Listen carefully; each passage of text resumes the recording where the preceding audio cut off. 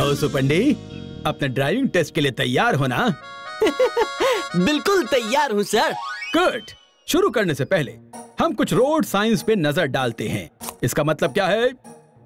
ओह इसका मतलब है फ्यूल टैंक में छेद है और पेट्रोल लीक हो रहा है सिंपल नहीं नहीं इसका मतलब रास्ते पे फिसलन है।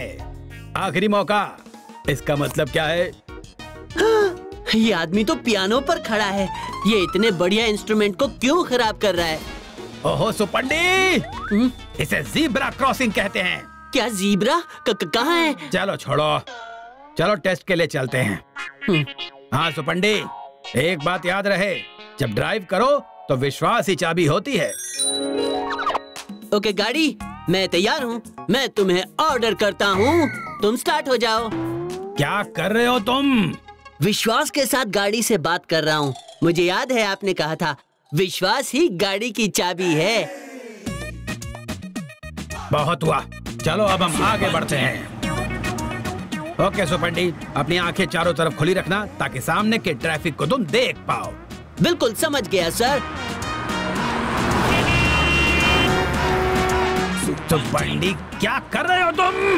आपको दिखाई नहीं देता खुली हवा में आँखें खुली रख रहा हूँ। हम बिल्कुल सेफ़ हैं। सुपंडी तुम अपना सर अंदर करो और ब्रेक लगाओ।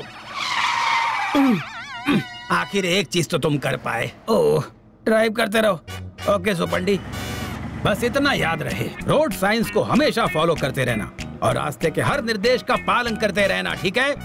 जी बिल्कुल सर सुपंडी ये क्या कर रहे हो तुम?